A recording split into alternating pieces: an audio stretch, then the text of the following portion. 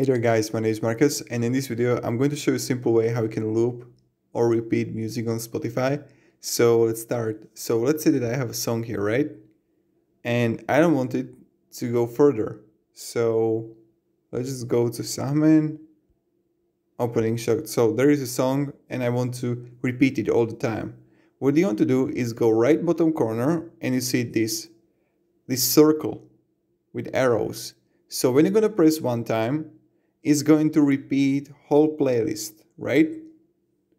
Again, click on it and it will repeat when there is a one, it will repeat this song all the time. And when I click again, it's going to delete and right now it will just circle.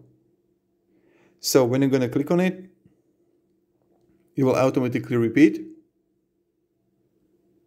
And when you're going to click on it again, there is going to be an one and this means that the song is going to play all the time. So thank you very much everybody for watching. If you have any questions, ask me down in the comments and have a great day and goodbye. See ya.